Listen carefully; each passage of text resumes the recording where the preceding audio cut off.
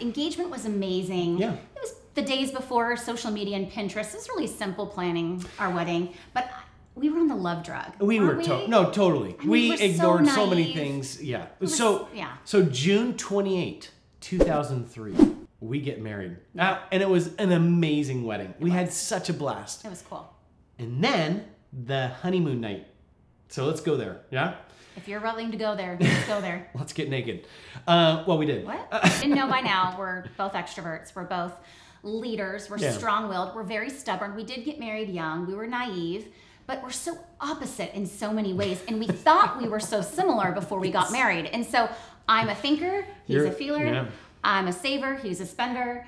I'm total type A. You're type B. You're a major risk taker, and Yeah. I'm control freak, right? So play it safe. I like things in boxes. The Castons like to play it safe. Yes, I'm on the time.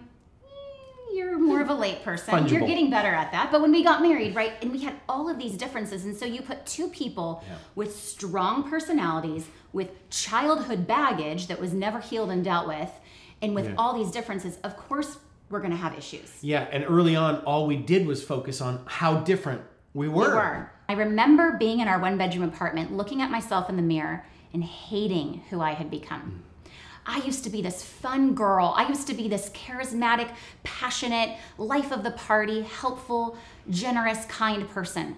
And I was bitter, resentful at him, angry, stubborn, closed minded, insecure woman who hated her husband and everything that he had become. And I had been blaming him, pointing my finger. We would not be here if it wasn't for you. Yeah. It wasn't my fault. Ready to be a team in marriage? Woohoo! That's right. Become a member to Marriage 365 and get access to tons of helpful videos like this. You get to go through one of our guided courses, take our checkup, or download a helpful worksheet. Either way, we are going to give you practical tools that work.